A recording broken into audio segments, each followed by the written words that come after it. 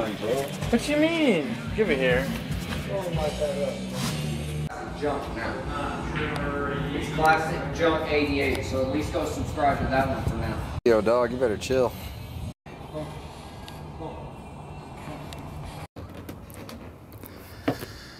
So yeah, this is a 1989 uh, Ford. Uh, it's got this really nice leather in here, aftermarket leather. It's got the uh, 351 three-speed, but aftermarket overdrive system for climbing those mountains. It's got the classic green carpet, but mixed with this beautiful leather, sink, you know, all that. Got a shitter. Yep. This is good times right here.